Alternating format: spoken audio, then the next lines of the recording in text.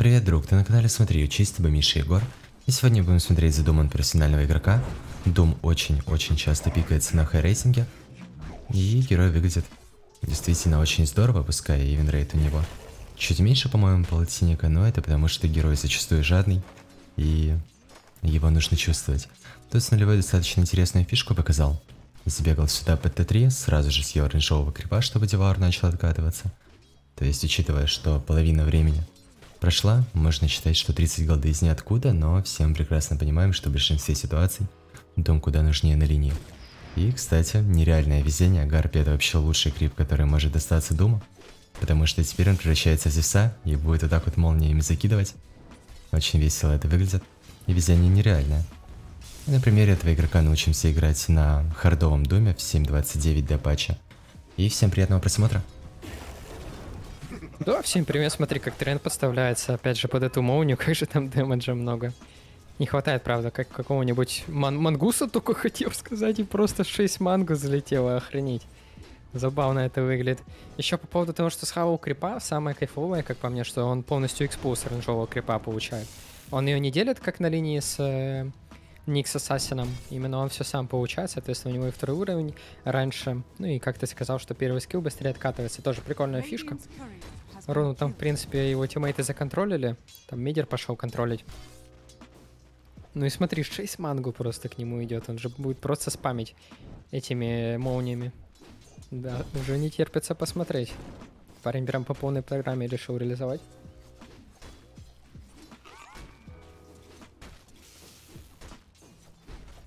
Ну, Мне особенно дома... комфортно с Гарпи играть, когда с батлом. Вот на харду приходится мангусами закупаться, потому что Сол Ринг не всегда ты можешь рано взять на думе Хапериген от первого. Сейчас нет продажей. Блин, а как же он настреливает этой молнией.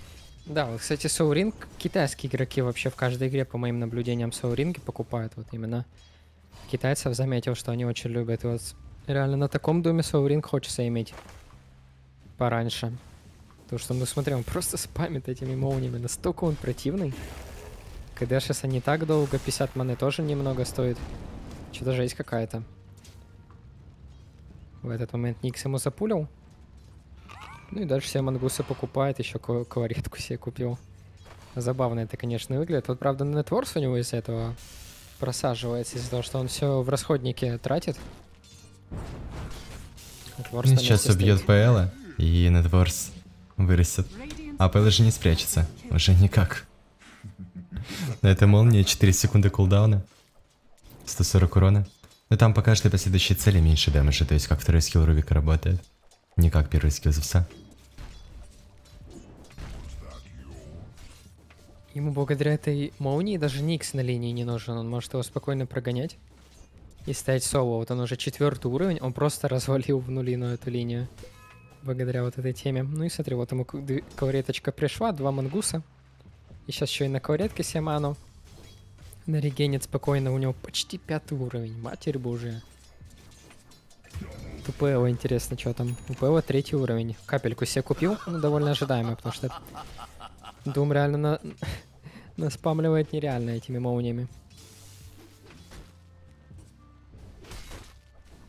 И опять же, капля стоит денег. Недолго эта капля продержится, и пошла агрессия сразу же на Трента. Но это, конечно, из ряда фантастики, когда тебе с первого же малого спота вот так везет на гарпе. Такое, мягко говоря, не в каждой игре. Есть два килла. Заслуга целиком полностью гарпи. Мы ж не на Дума смотрим, мы ж смотрим на Гарпию сожранную. Да, что-то не ожидал даже, что это настолько жестко. Ну, знал, само собой, но этот парень прям превзошел все мои ожидания. Он настолько сильно эту гарпию реализовал. До сих пор все носит мангусики. Ему бы еще какие-нибудь арканы. Там на Никсе. На Никсе не любят арканы покупать. Там играют через Транквилу, вот эту шляпу, стики. Аганим фастовый любят покупать. Так что арканы, к сожалению, не будут, но так был бы неплохой бонус, чтобы вот так наспамливать. Молнии ПКД. Ну, тоже себе капельку купил. Опять же, мана реген. На него могут напасть, там уже телепорт делал Худвинг. Так что все в этой жизни может случиться. Все может пойти не так. Не показался ли он танго себе купил? Да, да. Охренеть. Но на Думе очень хочется таскать себе расходники. Первый скилл Хаперигена больше не дает. Прокликал, что капли закончились у ПЛ. Жаль, тут вышку подавить нельзя. Старый Дум с э, парочкой брейсеров, как Knight работал, при спокойной вышке танчил с Хаперигеном 30. С пулом хп полторы тысячи тоже. Сейчас все не так радужно. Очень интересно, что замаксил именно первый. На харде мы в основном видим второй скилл в тройку к пятому уровню. Но благодаря молнии дэмэджа будет хватать. А первым скиллом заработает больше денег на Мангуса. Ведь реально всего хватает.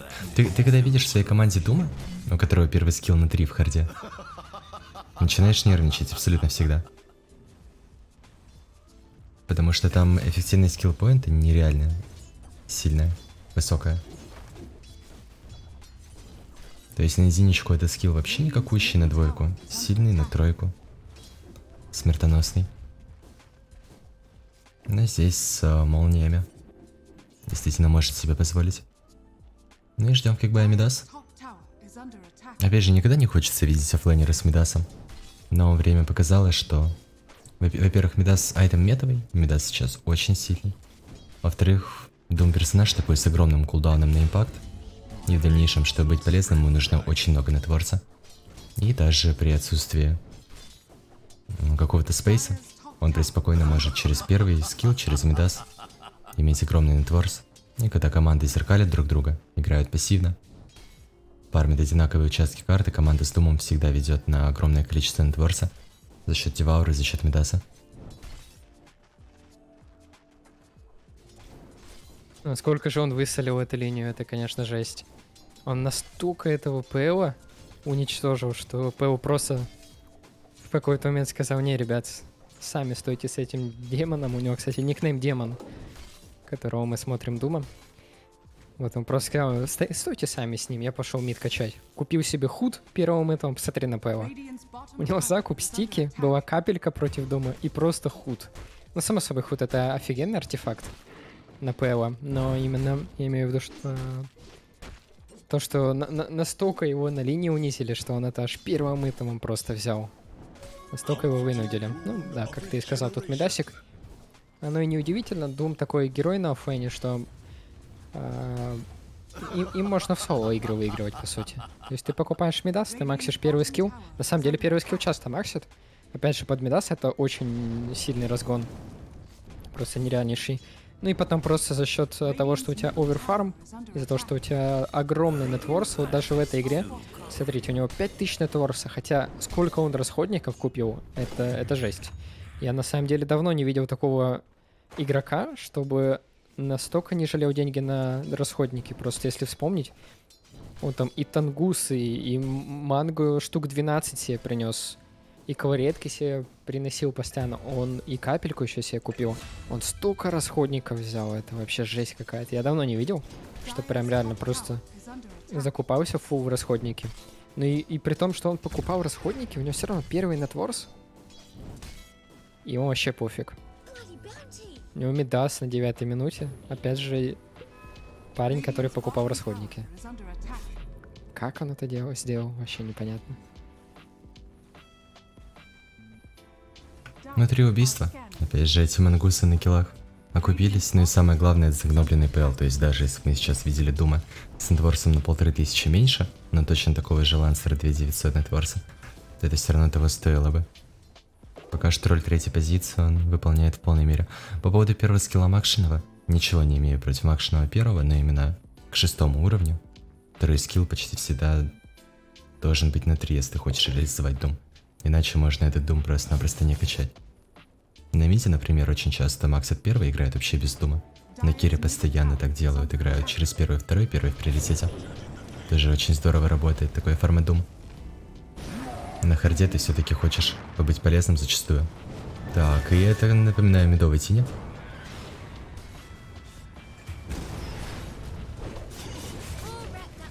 Тени убить не получилось, к сожалению, но из файта он ревнул. Так что получилось убить тут еще двух героев. И спокойно танчит вышку. фармит под ней, как ни в чем не бывало. Ну и по билду после Медаса почти все делают а, блинк БКБ. В некоторых играх сначала БКБ, потом блинк. Тоже такой классический дом, но БКБшки почти неубиваемый за счет своего муспида. Очень быстро герой бегает. Ну и я думаю, ты уже хочешь озвучить, сколько Да. расходников он сейчас купил. Я до сих пор в шоке. Настолько не, не, не жадничает. Он две, две фласки себе купил. Чтоб вы понимали. Напоминаю, фласки стоят 110 голды. А он по две штуки себе таскает на 11 минуте. Ой, там Тини трипл килл оформил, ничего себе. Ну, кстати, Дум тоже сейчас может подставиться. У него вся команда в таверне, он один, по сути, на линии. А, еще и три редкие, я тебя понял, братан. Что-то тут белка не смогла сбить желудем. Да уж, крутой чувак. Ну, талант на десятом выбирать не приходится всегда. На земельку талантик берется.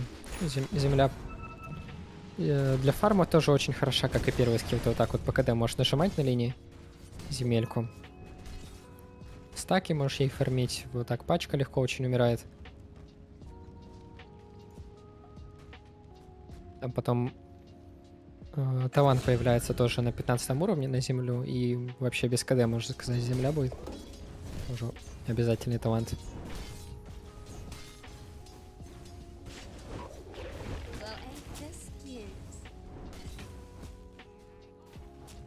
Вот по поводу билда еще хотел уточнить. А, Были китайские квалификации. Дум на китайских квалификациях был чуть ли не в каждой игре. И вот э, китайские игроки открыли для меня еще один билд на Думе. Просто первым итемом БКБшка. Ни Мидас, ничего там. Фейзы, фейзы БКБ вот, вот так вот билдились китайцы. Максимально такой нежадный билд. Вот самый главный минус вот этого, вот этого закупа через Мидас, через Даггер, что у тебя статов вообще на Думе нету. То есть тебе Мидас статов не дает, Blink тебе статов не дает, а Дум сам по себе тоже герой, у которого статов нету. У него хп на самом деле не так много в самом начале. А брони тоже супер мало. Только фейзы хоть как-то компенсируют. Вот, так ты еще и покупаешь такие дорогие артефакты, которые тебе тоже статов не дает. Вот, таланты у тебя тоже статов не дают, соответственно, ты очень слабенький. Против контроля не живешь, просто сам по себе тонкий достаточно персонаж из-за такого жадного закупа. Так вот, китайцы делали вот такой вот билд, просто БКБ рашились, а потом уже всякие даггеры и так далее. Ну, БКБ очень много на этом герое дает.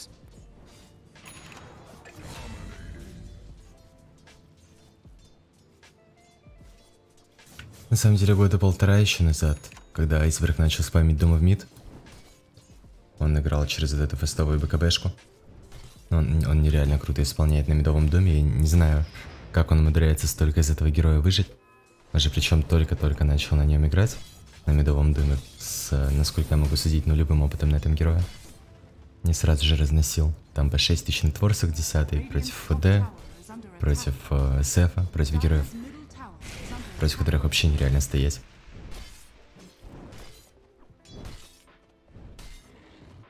И по игре тоже всегда очень полезный. Смотри, тут нарисовал план действий. У них есть в команде Гримстрок. И думаю, очень хочется реализовать ультимейт на двоих. Тоже идеальная связка. Дум Гримстрок во все времена, также на кроссене. Любят очень брать этих двух героев. И вот реализация, смотри, сейчас Дум по двоим. Но успеет ли дойти? Не, не успевает, к сожалению. Там уже связочка заканчивается, ну идти не на, с хостой. Убыдно.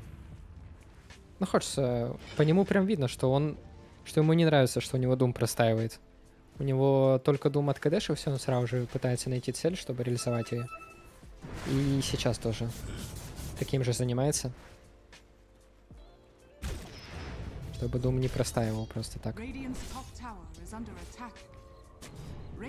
Н- Ничего страшного нет в том, что Дум простаивает зачастую. Потому что время им на руку играет, я хотел сказать, пока не увидел Луну по Т1.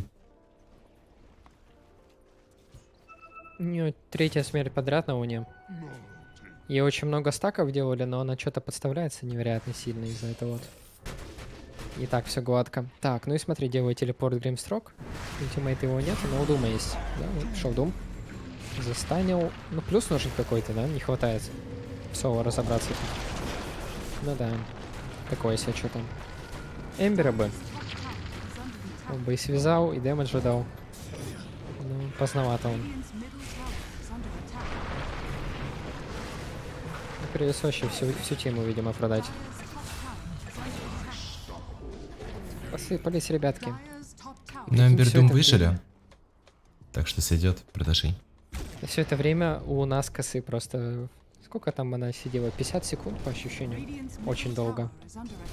Это столько фармить она могла.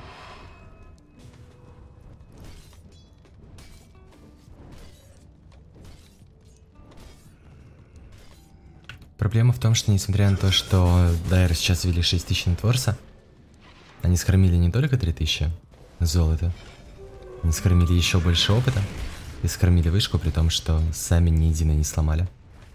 Это очень большая проблема. Но если Луна сейчас будет играть аккуратнее, то мы ждем 5 минут. У Дайра будет преимущество в 10 тысяч золота. Луна будет заряженная, Дум будет с ВКБшкой и еще с каким-то предметом сверху. И они преспокойно все эти внешние вышки позабирают. Здесь опять же время на стороне Dire. Целиком и полностью. Тут еще и на ПЛ тоже против такого драфта играть невероятно тяжело. Ты не хочешь против противников покупать Manta Style, но если не купишь Монтестейл, то рано или поздно Дум в тебя прыгнет, наж нажмет свой ультимейт, не успеешь задоджить, если доппель в кулдауне, миры могут какие-нибудь появляться на Эмбер Спирите.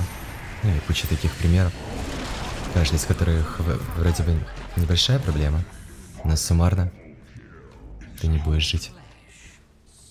Очередная смерть от Луны, сверху еще и от Дума. Тоже вроде бы столь- столько радости, что и Дум, и Эмбер Спирит не умирают, продолжают наращивать свой нетворс. Вроде бы умерли. Но он еще явно недоволен своей луной после ее смерти. Там пошел ранг ее даже чекать. Ну, потому что она уже второй раз подряд с косы улетает на минуту целую. И невероятно много теряет. Самое забавное реально, что они по нетворсу все равно выигрывают. Хотя Луна вообще не фармила уже хрен знает сколько времени. И продолжает не фармить. Однако вот... Опять же, это Дум, ребят. Просто Дум с Медасом, с первым скиллом, с акшеном.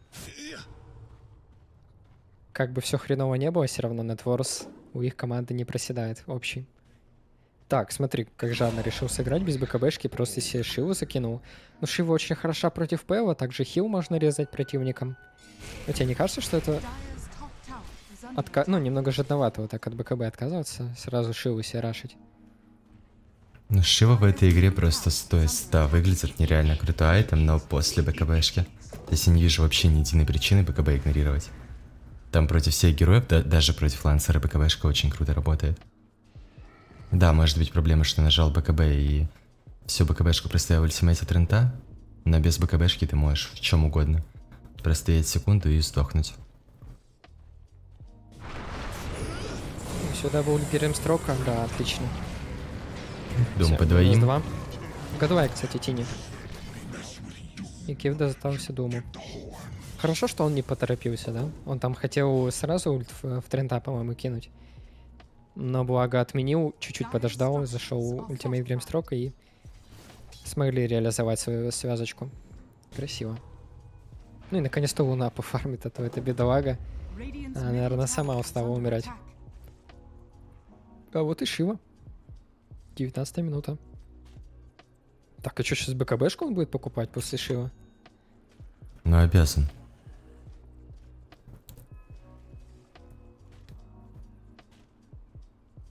Вообще, в глубокой теории, знаешь, он купил Шиву именно из-за того, что недоволен Луной.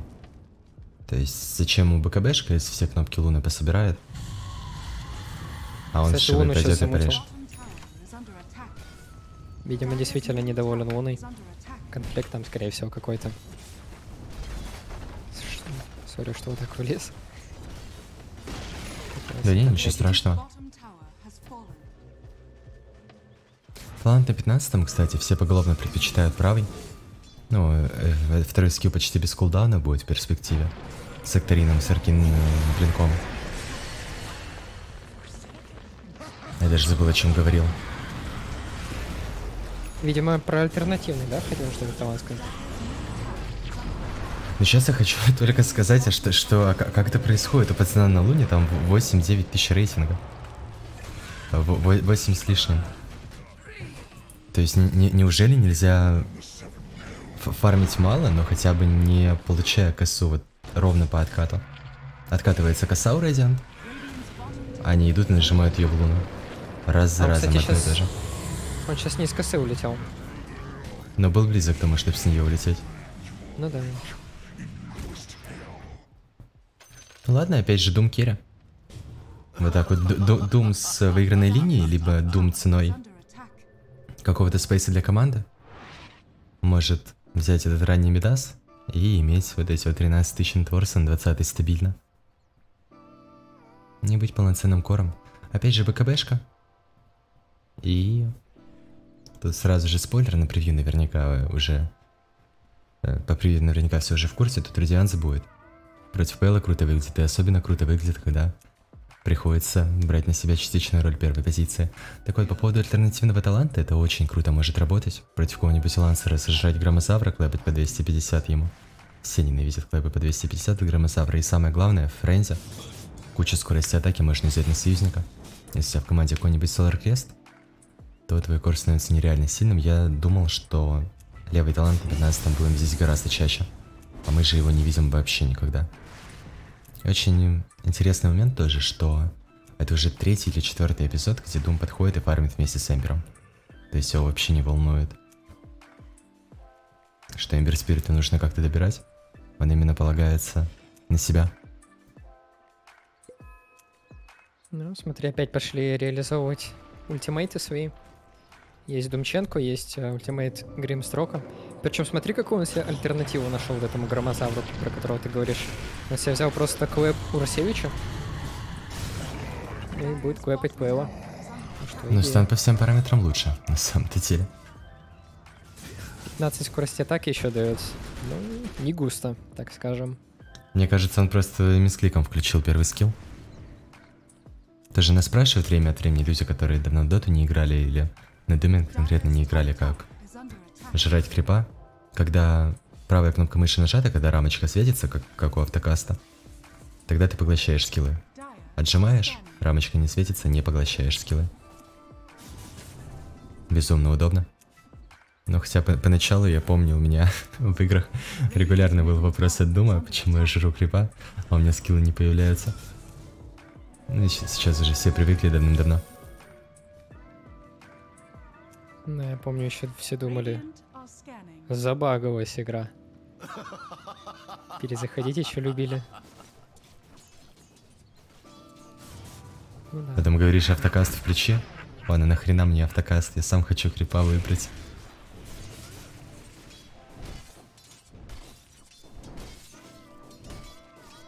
Ну, он и есть, конечно, кстати, про нее такое ощущение, что вот что-то не доигрывает. Ей столько спейса создали, просто вспомни.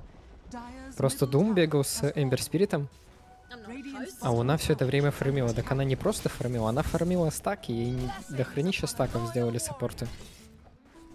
Там весь лес был застакан, однако реально столько раз косы умереть, столько раз подставиться.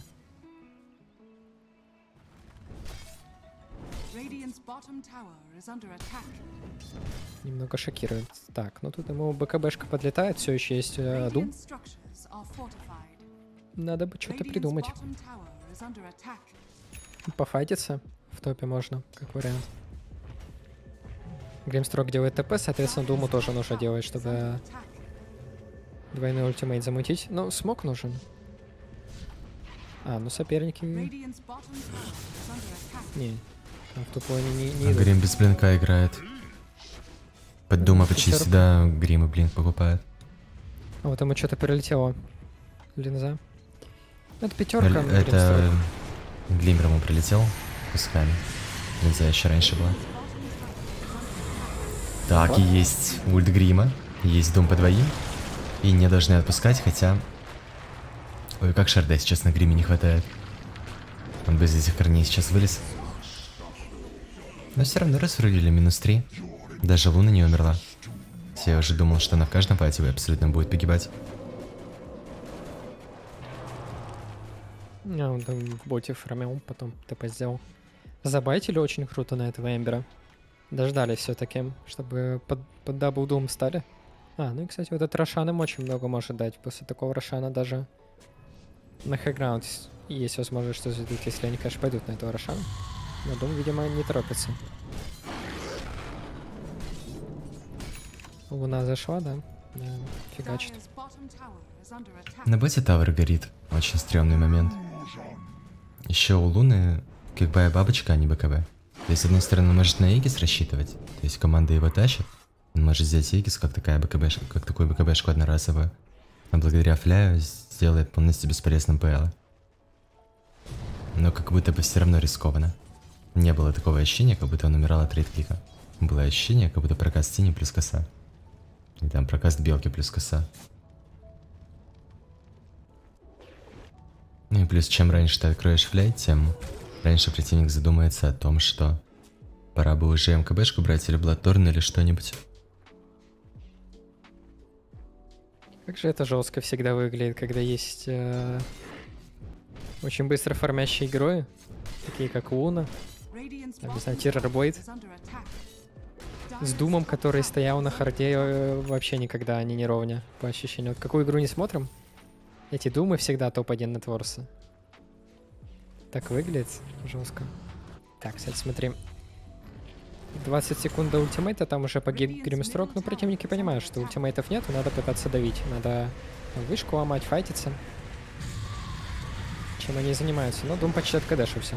Тут просто вперед, есть БКБ. Ну, контроля... еще видно благодаря третьему скиллу Трента. И преспокойно его здесь сжигает. Вообще красотища. Продолжай. А, офигеть. Он в соло его просто убил. Когда у, у Лансера еще и команда была сзади. Просто сжег. Так, 3000 голды есть. Ну.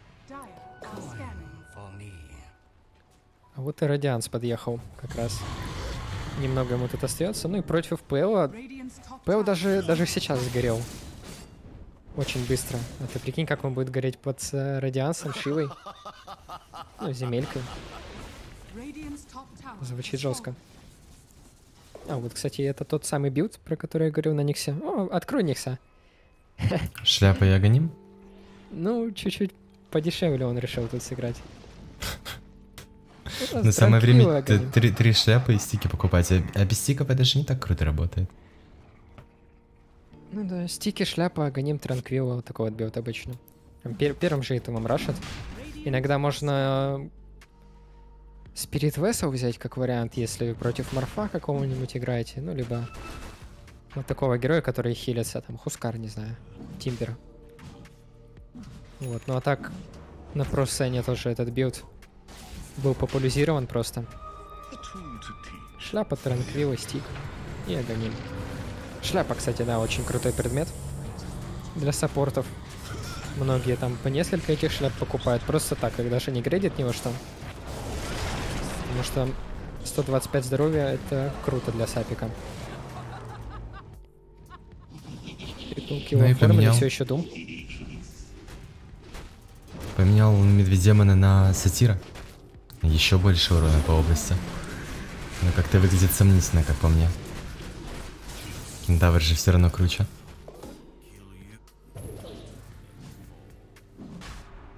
Ну да. Сейчас стик продаст. Интересно, кларетку принес? Не. Еще на базу сбегают. Вот самое время, по ощущениям, менять фейзы на тревела. С тревелами ты почти до 550 разгоняешься. Тут еще талант 20 на муспид. Очень комфортный предмет тревела.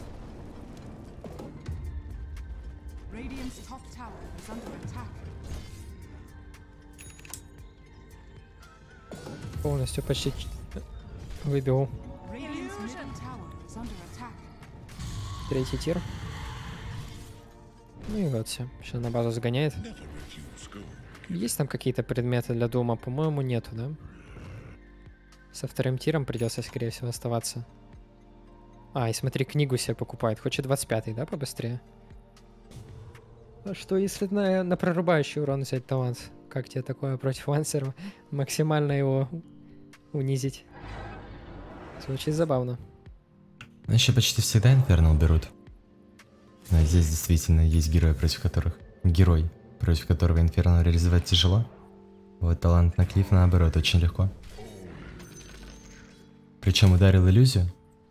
Мейн получил больше урона, чем если бы ты ударил мейн.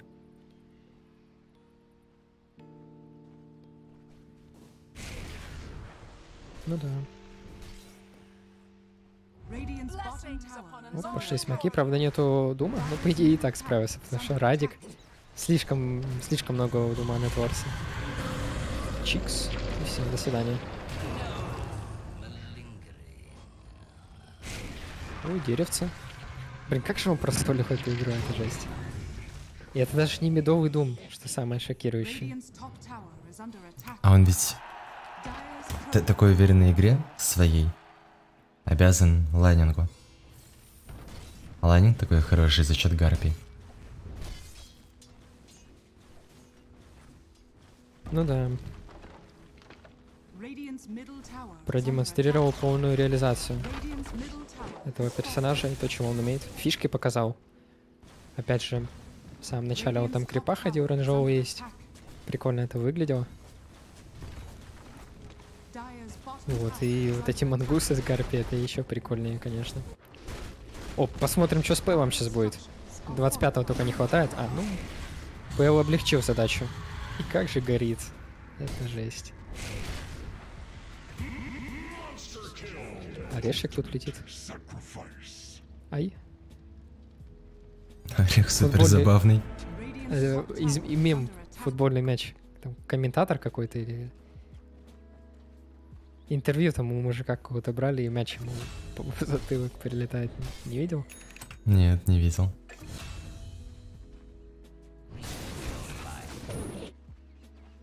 Луна на 120 секунд умерла. Как вообще? Ладно, хотя бы ПЛ бай скинул. ПЛ еще разок убить и... Игра уже сто процентов закончится. Как бы силовой блинк и еще больше урона по области против лансера продажей. Да, да. Все. Не хотел тут. По поводу Дума тоже. Мало ли кто-то недавно играет, или наоборот давно не играет, Дум сбивает телепорта, как и любые касты предметов.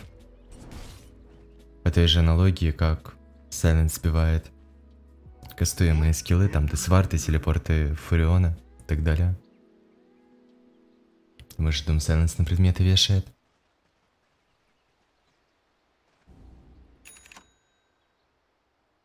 И смотри-ка, стоит в засаде на боте. На какой-нибудь саппорт здесь появится, будет отпушивать. И сразу же этого саппорта Дум спрячет. Но тревела очень хочется. Так, а вот и саппорт. Я вернул такие кентавры. Кентавры очень нужны выглядят. Белка причем с молниями. С арчидом почти. Ой. Ты что то делаешь, Тини? Он же его убьет, не? Тини реально сейчас сдохнет. То есть э, тренд нажмет ультимейт, Дум нажмет БКБшку. Вообще не проблема. Есть второй скилл сейчас, есть Радик, вот на, на ульт Трента нажимается БКБшка, он, он причем поторопился на Тренте ведь с этим ультимейтом. Он мог чуть-чуть подождать, какая же соль, ёб твою мать. Ну, кстати, от э, Некрофоса не слабо так гниет. А у него Дум откадешился, сейчас убьет mm-hmm. этого Некрофоса. Все, до свидания. показывается. Есть Дум. Вот эти проигроки, опять же. Мы, мы, мы, же с тобой играем на вспомогательных ролях, вылизываем э, Кора, стараемся, чтобы Кор во что бы то ни стало игру выиграл. Вот здесь про игроки, они охранительно, риски. Перераспределяю, как, как сказать, не, не, не знаю, как сказать, извините меня за мой русский язык, пожалуйста. Он видит, с Луной все хреново. Эмбер Спирит в ближайшее время не разгонится. И все, и пошел. Шива до БКБшки. Пошел Радианс. Есть я уверен, если бы у Луны было все круто, то вместо Разика мы могли бы видеть какую-нибудь Кирасу, чтобы Луну укрепить, какой-нибудь Кримсон опциональный, если бы ПЛ был засноуболенный. Какой-нибудь Хекс, возможно, чтобы дать больше контроля своему кору. Здесь же нет. Собрался в корового дума, сейчас сделал минус 4, по сути, соло. Что, ну, он убил белку, потом Тини, потом Трента, потом Некрофос, и сейчас вот даже белку спрятал. За одну кнопку. Силовый блинк еще как реализован сочно. Мгм. Под стан кентавра. Куча дэмэджа, замедление. Ну, Причем Аркейн, казалось бы, всегда выглядит круче. Но здесь реально такой сноубольный дум. Вот добавить дэмэдж из прокаста, плюс дэмэдж по области против лансера. Круто очень выглядит.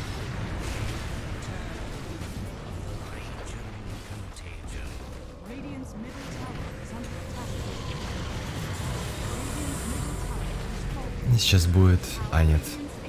Мне постоянно мерещится что-нибудь Дум, если периферийным зрением вижу вот этот силовой блинк, а мне кажется, что это Дум у него. От Кадешин. Ну, это вот идеальный пример игры. Как можно на третьей позиции выигрывать игры в соло. Вот Дом как раз вот самый идеальный пример, как мне кажется. То есть ты... Ну, на нем ПТС даже можно поднимать, потому что на третью позицию сейчас много героев, э, которые очень зависят от твоей команды. Если у команды не пойдет, то ты, например, на каком-нибудь Тайтхантере, на каком Драгонайте ты в соло не выиграешь. Никак. Там именно Ну, команда нужна, особенно Мы недавно смотрели Тейт Хантера, который был не согласен. А, ну, кстати, да. Но это тоже, опять же, у него... Там хоть какие-то игроки были. Вот, ну и он очень много спейса создал. Вот, Но а Дом опять же, Тейт. Хантер, причем он в одном моменте вставлял намеренно палки в колеса своему кору. То есть он прям говорит, вот кор, я, я не дам тебе доесть здесь, я поем, а ты получишь спейс через несколько минут. Здесь же не было такого, чтобы дом вставал на траекторию фарма Луны. Он проходил мимо стаков уже после смерти Луны, он их не трогал.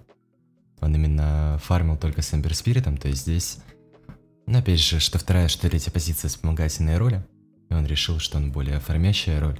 И в этом он был прав. В принципе, у Луны он крипов не брал вообще.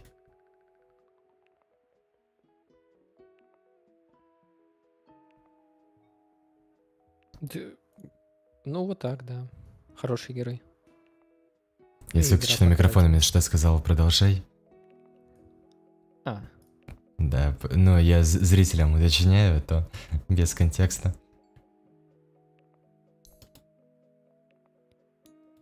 И всем огромное спасибо за просмотр. Если видео понравилось, то обязательно ставьте лайки, также не стесняйтесь писать комментарии и увидимся.